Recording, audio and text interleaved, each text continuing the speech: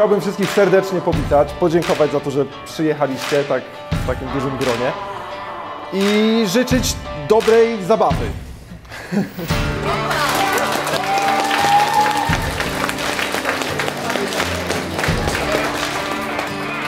A ja się do tego przyłączam.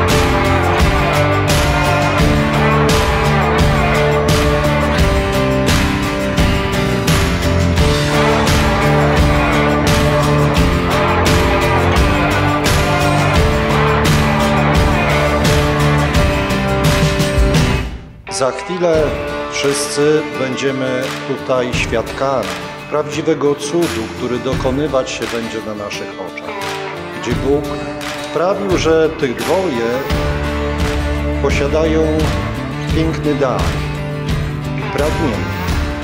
Dar, by kochać i pragnienie, by być kochanym.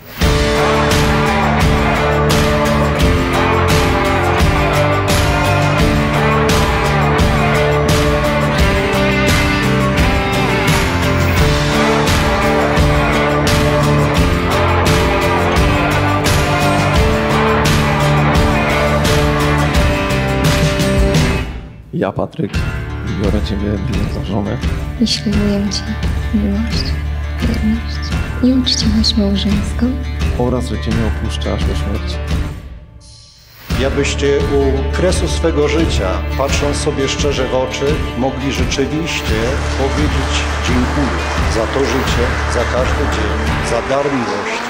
Udało się!